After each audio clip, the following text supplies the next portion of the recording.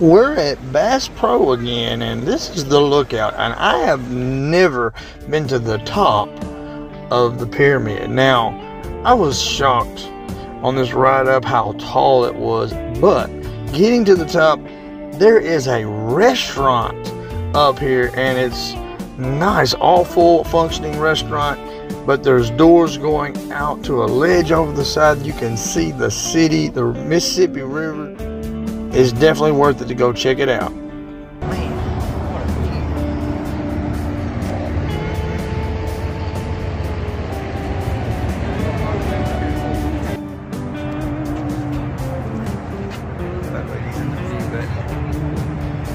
Alright, there it is.